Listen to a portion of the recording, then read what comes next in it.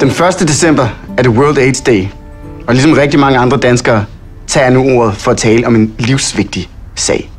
Det handler om HIV-AIDS, sygdommen fra 80'erne, som vi ikke taler så meget om længere. Måske fordi vi tænker, at der ikke er stor risiko for, at det rammer nogen, vi kender.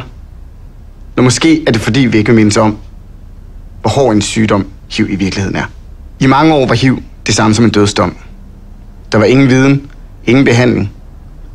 Kun menneskeliv, der sluttede alt for tidligt. I dag kan HIV-smittet få behandling, der giver dem et lige så langt liv som alle andres. Den livsforlængende medicin holder ikke alene sygdommen i skak. Den er også så effektiv, at man ikke længere skal være bange for at smitte den, man elsker, eller det barn, man ønsker sig. Så langt er vi kommet i dag. Men desværre har HIV en alvorlig følgesygdom. Følgesygdommen hedder HIV-fobi. Altså angsten for at blive smittet i situationer, der er helt ufarlige. Og den rammer især venner, kolleger og den nære familie. Det kan være en berøring, et knus, et kys, en rift på fingeren eller en hård takling på fodboldbanen, der sparker usikkerheden i gang.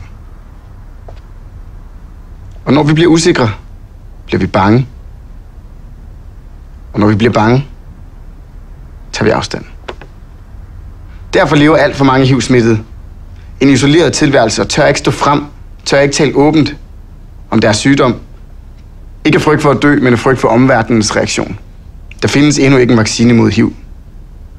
Men der findes heldigvis en mod HIV forbi. Vaccinen er viden, for kun ved at tale om HIV, om hvordan HIV smitter, og i særdeleshed om, hvordan HIV ikke smitter,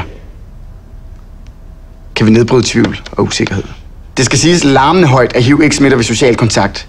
Hverken ved kys eller kærtegn. Der er ingen grund til at tage afstand. Så lad os derfor bruge World AIDS Day til at bekæmpe den ubegrundede angst. Fordi den gør mennesker fortræd. Lad os tale hiv forbi ihjel. Og lad os starte i dag. Tak fordi du lyttede.